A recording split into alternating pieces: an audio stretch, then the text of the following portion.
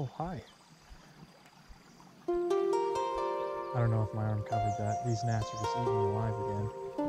There we go. Got him. Looked like there's about three or four feet.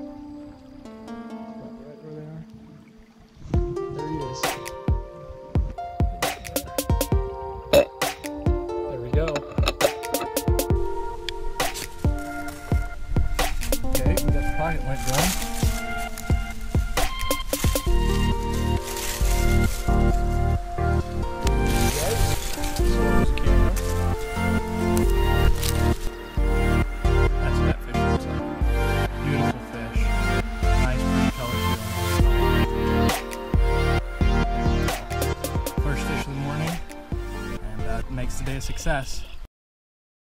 Alright, so today we're going to go over one of the best days that I've ever had. Um, I didn't film a lot in my face, mainly. I actually didn't film at all in my face, I'll be honest.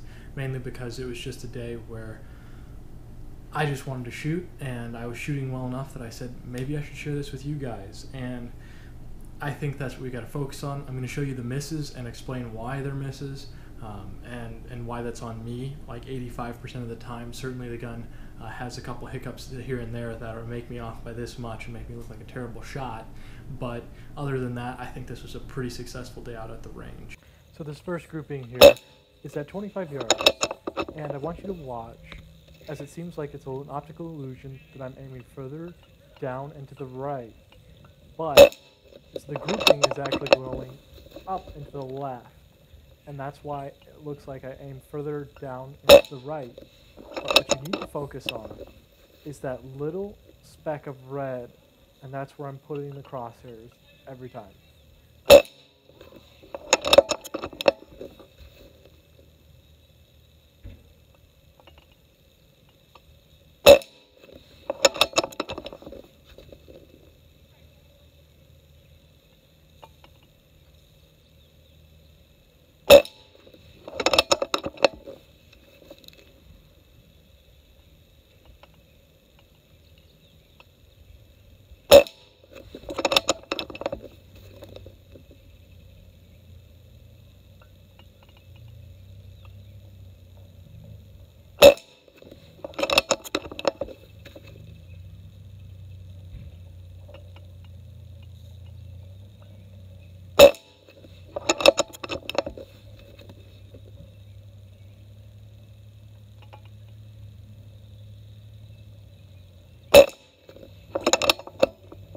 It's 10.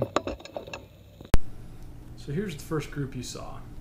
And I'm going to talk briefly here. This is why 10 shot groups are really important. Uh, with a 5 shot group, that looks like that. With a 10 shot group, I've got a little more spread and I do have one outside of that. But this is why 10 shot groups are important because it shows you how the gun is actually going to perform every single time. I mean, if you're not capturing it within 10 shots, it's probably the ammunition or it's probably you yank the trigger. Um, in this case, I think this is just a really good sign of what the gun can do. So here's that first group once again. I'll give you a close up. It's about, uh, with the flyer in there, I would call it a true half inch grouping. Um, without the flyer, it's almost down to a quarter inch grouping. But even then, I think any of you shooting this, you'd say, I got a squirrel with any one of those 10 shots. So that's that one. Let's see if we can get these boogers a little better. Full six all over.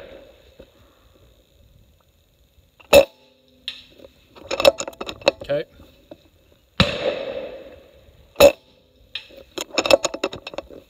Speed shooting them now. Alright, hard target. I don't know where that hit.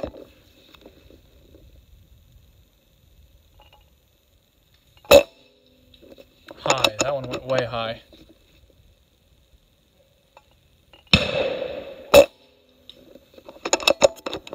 I can actually see these flying. This is really cool. Hey!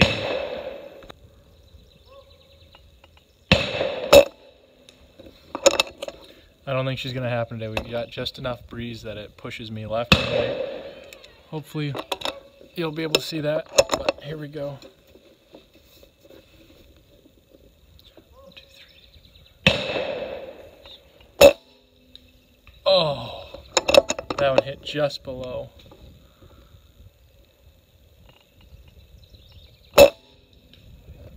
We got him, guys. All right, next shot. We're aiming right at it. We're gonna see if we can get the remnants quick. Just below again.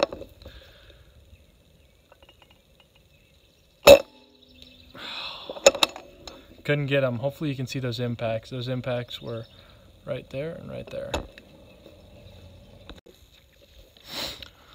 Okay, so my first two were not on the paper or not on the uh, red square, but they gave me a really good idea of where I was, should be shooting at. So I'm thinking right about here should be good.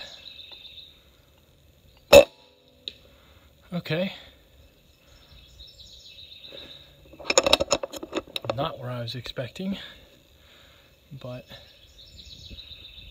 can deal with that.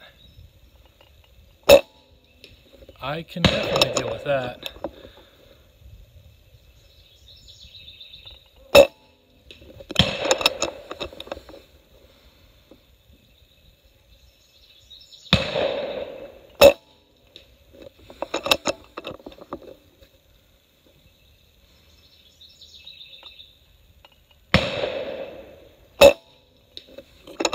Drop that one low. That one was on me.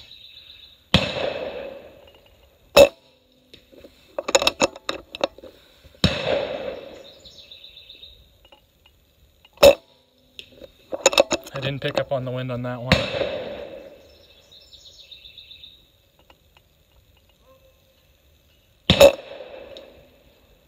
I think that's in that main group. Okay, so that's seven on paper. Gotta hurry, gotta run.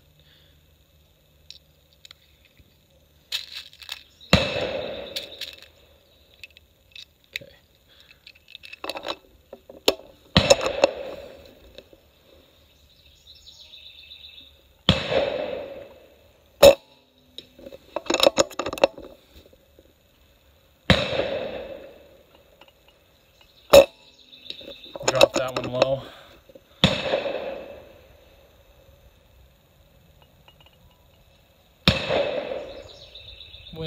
Coming.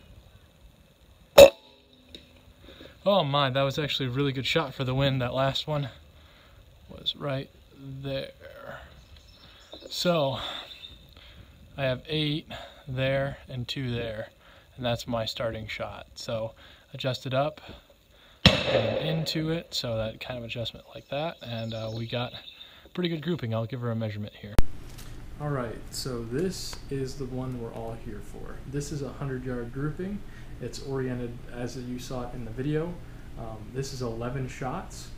This is my first shot. We're not counting this one because this is where I was finding out how much drop it was. I adjusted up and and then I put these in here. I'm going to say that these two are windage because they're at the same elevation and excuse me, same elevation. They're just pushed over here, and it is the correct way. The wind was coming very, very gently from this way to this way. So these two are on me. I'm going to say, or excuse me, on the wind, me not reading the wind right, but the gun performing.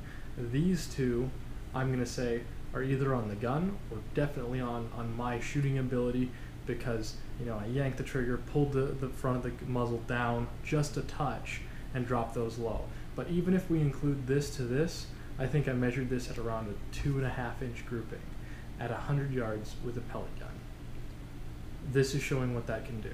Also, great point to tell to talk about um, 10 round um, ends or 10 shot groups because I have six of them within an inch.